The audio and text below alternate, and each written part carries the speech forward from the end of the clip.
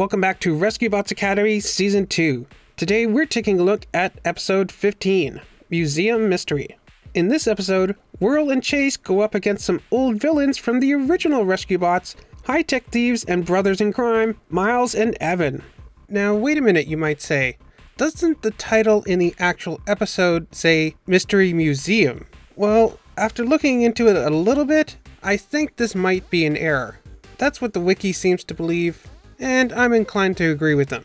After all, Mystery Museum doesn't really make sense because this isn't a museum about mystery, it's a mystery at a museum. So I think Museum Mystery is the correct title. And that is what it's called on Netflix. I like that this is yet another Whirl centric episode where she gets to use her detective skills, this time with her mentor Chase. It's interesting that the brothers had the Rescue Bots logo on their tablet. Hmm.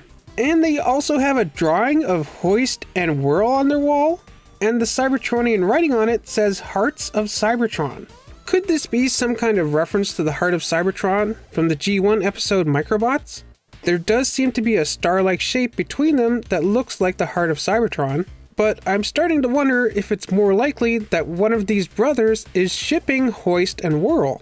What's more, when we get a look at Chase's tablet earlier in the episode, there are some questionable text and pictures on it.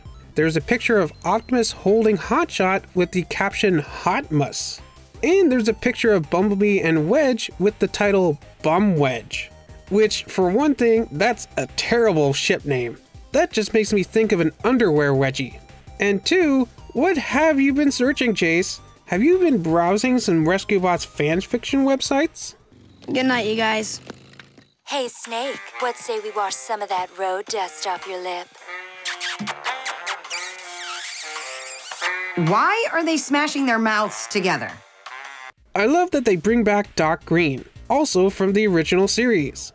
So it turns out the nanotech sculpture created by Doc Green had basically melted due to the lightning strike, but he was able to fix it.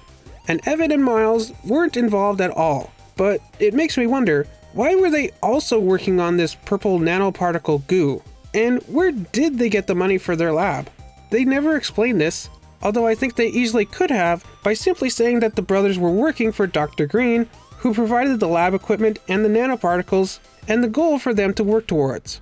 But unfortunately, they just kind of leave those loose ends open. Oh well, this was still a fun episode. What about you? What did you think of Museum Mystery? Let me know down in the comments. Remember to like, subscribe, ring the bell, and do all that other fun stuff. And join me next time when we'll be checking out Season 2, Episode 16 Partners. See you then.